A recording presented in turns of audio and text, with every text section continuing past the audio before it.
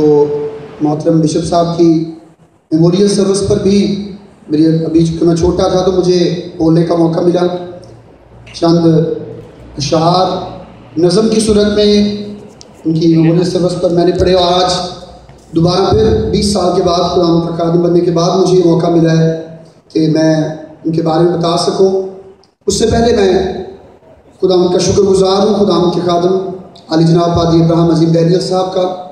और उनकी अहलिया का वो ख्वाब जो खुदा के खादम ने देखा था, मैं चूँकि अपने ख़ानदान में से, अपने वाल साहब के ख़ानदान में से इस बात के लिए चुना गया कि खुदा की खिदमत करूँगा तो बिशप साहब की, खुदा के बंदा की बड़ी ख्वाहिश थी कि वो पादरी बना सके मुझे खुदा की खिदमत में, आगे ला सके और मैं शुक्रगुजार हूँ खुदा के खादम का पादी अब्राहम डैनियल साहब का, उनकी मिसेस का, जिन्होंने सारी बात को खुदा के खादम के इस ख्वाब को पूरा किया। सो हम उनकी ज़िंदगी के बारे में इन बातों को, जो छोटे बच्चे बैठे हैं, बड़े तो पढ़ सकते हैं, लेकिन जो छोटे मौजूद हैं, वो चूँकि पढ़ नहीं सकते। सो उनके लिए खुदा के खादम के बारे में ये बातें पढ़ना चाहूँगा। जनाब बिशप साहब, पंद्रह जनवरी उन्नीस सौ सैंतालीस को ज़िला खानेवाल के मशहूर गाँव स्टूजाबाद के ज़िम्मेदार घराने चौधरी डैनियल आतू के घर में जन्म लिया। इब्तदाई तालीम मस्कूरा गाँव के हाई स्कूल से हासिल की। बचपन ही से आप में खुदादाद सलाहियतें मौजूद थी अपने वक्त के होनहार तालब इल्मों में शुमार किए जाते थे। अपने अयाम जवानी में ही मसीही खिदमत के कामों में बढ़ चढ़ कर हिस्सा लिया करते थे। अजवाजी ज़िंदगी।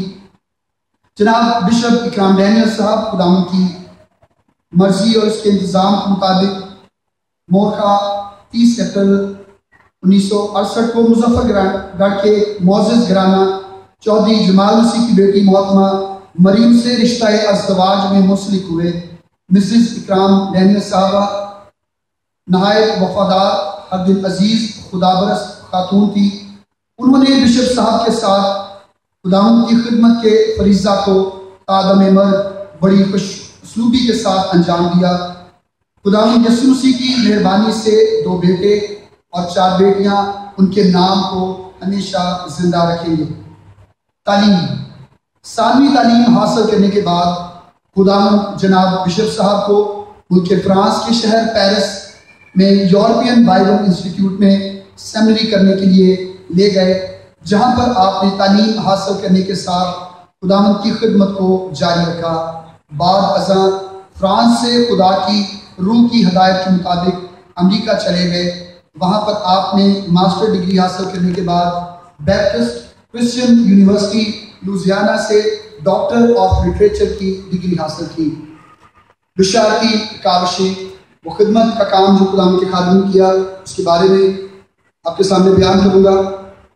तकदस माब जनाब bishop doctor William Ikram Daniel साहब को बशारती खदमात में बढ़ चढ़ कर हिस्सा लेने का शौक इब्तदाई ज़माना ही से था।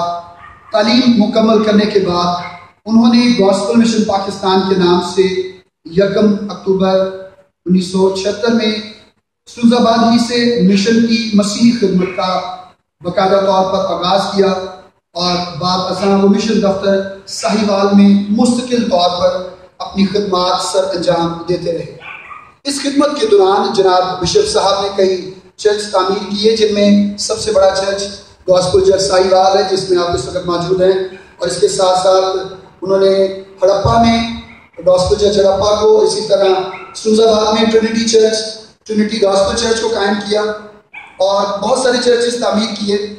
और इसके अलावा उन्होंने मसीहों के लिए बिलखसूस जो चर्च मेंबर्स हैं उनके लिए रहायशी कॉलोनी जो है उनको कायम किया, जिसमें गॉस्पल कॉलोनी साहिवाल है और इसी तरह हड़प्पा में गॉस्पल टाउन हड़प्पा है।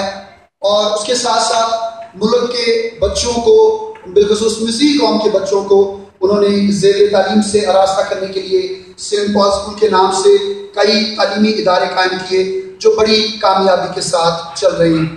बहुत से लोगों को खुदाम यसु मसीह के पास लाने और उनको निजात के तजर्बा तक लाने के लिए खदमात का आगाज़ खुदाम के खादम ने किया, जिसमें उन्होंने गॉस्पुल कलीसियाएँ बिशारती टीम मसीही नशर इशात पैगाम हक बिशाब की खदमात, बरए वुमन मिशनरी फेलोशिप और गॉस्पल यूथ फेलोशिप और बच्चों के अंदर चिल्ड्रन बाइबल क्लब का जो काम है उसको शुरू किया। और यूँ बिशप साहब जो हैं, बहुत मशहूर ज़माना शख्सियत है आज भी जब मुलाकात होती है पुराने लोगों से गुजशत दिनों में भी, जुम्मा के रोज़ हम लाहौर में एक इबादत में मौजूद थे पादी इब्राहम डैनियल साहब पादी जमील आसर साहब, जिनके नाम से वाकिफ़ है। तो वहाँ पर बहुत सारे बुज़ुर्ग मिले। तो अक्सर वो खुदाम के खादम में जब मिलते हैं, मैं या पादी साहब, पादी अजम जॉन साहब, हम उनके साथ होते हैं तो हमेशा वो उनकी बातचीत से अंदाज़ा लगा देते और कहते हैं कि आप बिशप विलियम इकराम डैनियल के बेटे हैं और बिशप साहब बीस साल पहले जब खिदमत का काम सिर्फ़ कन्वेंशन होता हुआ करती थी क्रूसर्स नहीं हुआ करते थे टीवी या दूसरे जराए नहीं थे तो खुदा के खादम कन्वेंशन में एक बेहतरीन स्पीकर के तौर पर गर्दाने जाते थे और मुल्क की सबसे बड़ी कन्वेंशन जो कि मीनार पाकिस्तान पर यादगार के ग्राउंड में हुआ करती थी, वहाँ पर एक बेहतरीन मुकर के तौर पर माने जाते थे। उनकी एक किताब तजलिए सदाकत, जो कि शायद आपकी नज़र से भी गुजरी हो, आपने उसको देखा होगा, वो बहुत मशहूर किताब है। और मसीह दुनिया में, और इसी तरह मसीह हल्कों में ये किताब बहुत ज़्यादा मकबूलियत की नज़र से देखी जाती है। बिशप साहब को खुदा खुदा ने अपने पास सोलह मई उन्नीस सौ छियानवे को वापस बुला लिया। आज उनको इस दुनिया से रुखसत हुए। कल सोलह तारीख को उनको इस दुनिया से रुखसत हुए। बीस साल हो जाएँगे, लेकिन उनकी गैर मौजूदगी में उनके फर्जंद खुदाम के खादम रेवरेंड अब्राहम डैनियल साहब खुदाम की खिदमत के इस काम को जारी रखे हुए हैं। खुदाम के बंदा, बिशप डॉक्टर हेनरी मिलॉन साहब के साथ, और खुदाम के बंदा पादी इब्राहिम डैनियल साहब जैसे आप उनके बारे में जानते कि ना सिर्फ़ इस शहर में, इस कलीसिया में, बल्कि पूरी दुनिया में बैन कलीसियाई मुबशर अंजीर के तौर पर जाने जाते हैं। जब खुदाम के खादम इस दुनिया से रुखसत हुए तो उनकी मिसेस मिसेस मरियम इकराम डैनियल साहबा इस दुनिया में मौजूद थी, वो हयात थी। और जब इस दुनिया से रुखसत हुए तो उन्होंने अपने बाप, अपनी बीवी अपने दो बेटों, अपनी बेटियों को, मिशन के कारकुनान को, कलीसिया के मेम्बरान को, और इसी तरह उन तमाम प्यार करने वाले वालदेन को, बहन भाइयों को रुखसत कहा और खुदावन के कलाम के मुताबिक खुदावन से जा मिले। उनकी गैर मौजूदगी में उनके बेटे डेविड अब्राहम डैनियल साहब, अपनी मिसिस सारा अब्राहम डैनियल साहबा के हमरा बेटे विलियम इकराम डैनियल बिल के हमरा गॉस्पल मिशन पाकिस्तान की खिदमत को जारी रखे हुए हैं। आज की इबादत, या ये सब कुछ पढ़ने का मतलब और मकसद ये था कि हम खुदा के खालम को याद कर सकें। खुदा के कलाम ये बयान करता है कि सादक की यादगार हमेशा कायम रहेगी। सो वो लोग जो खुदा के साथ चलते हैं, वो लोग जिनकी कोशिशों से, जिनकी मेहनतों से बहुत सारे बरकत पाते हैं, उनको हमेशा याद रखना ईमानदारों पर फ़र्ज़ है। आखिर पे जगह से रुखसत होने से पहले खूबसूरत शेर, खूबसूरत हस्तियों के लिए खुदा के बंदा बिशप विलियम इकराम डैनियल साहब के लिए, उनकी मिसेस के लिए कहना चाहूँगा, बड़ा खूबसूरत एक शेर है कि ये सूरत इलाही, ये सूरत इलाही किस देश बसती हैं? ये सूरत इलाही किस देश बसती हैं?